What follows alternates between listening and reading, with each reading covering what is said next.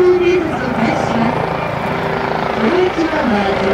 らヘレナンデアやソシー貿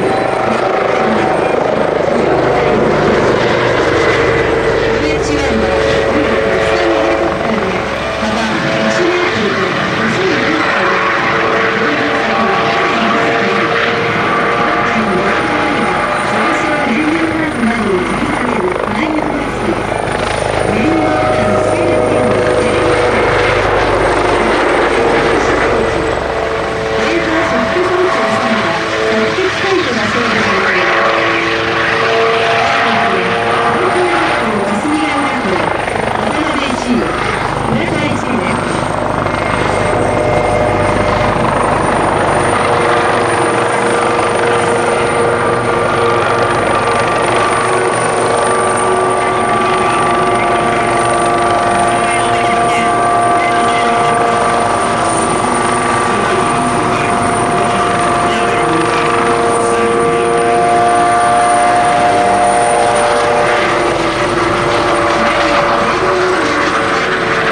ドローンを装備した UH-60 の射撃援護を受けながら警察用バイクを搭載した別の遊園地の区間が侵入してきます。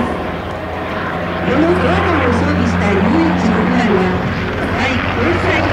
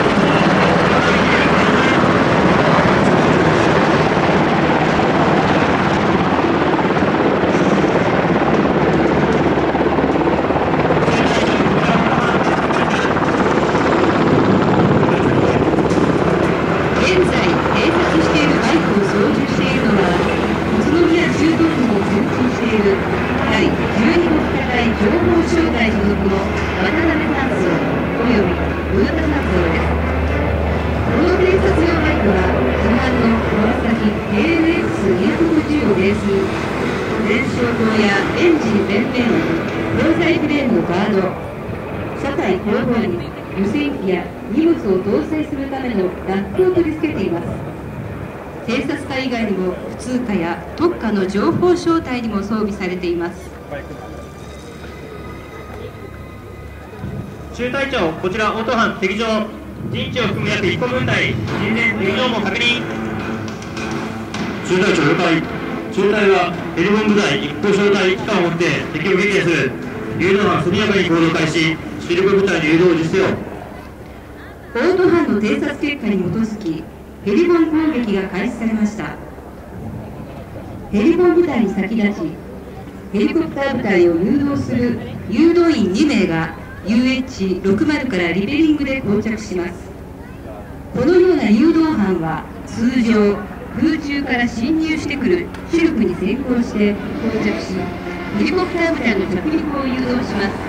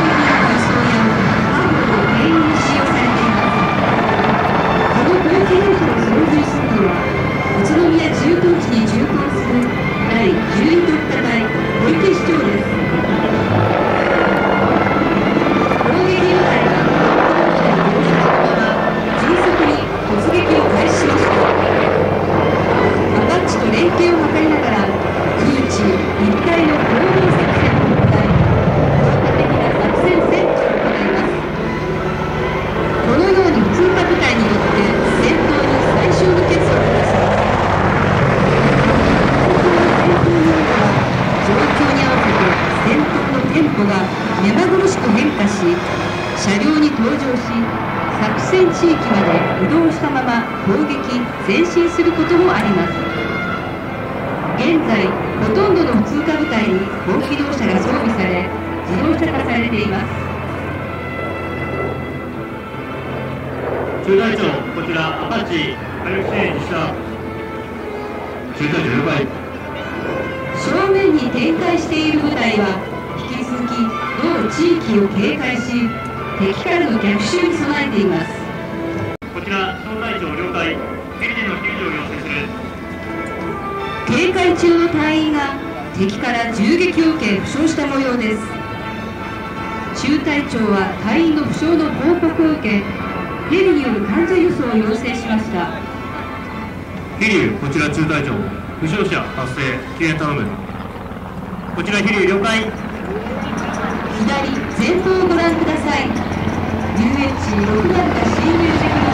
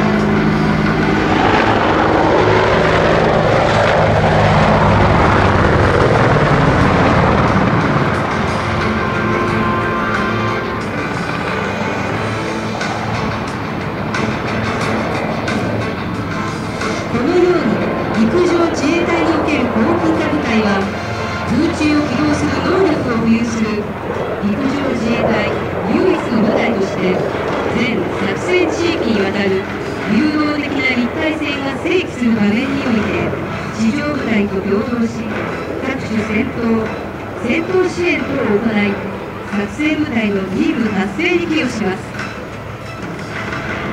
以上をもちまして訓練展示を終了いたします。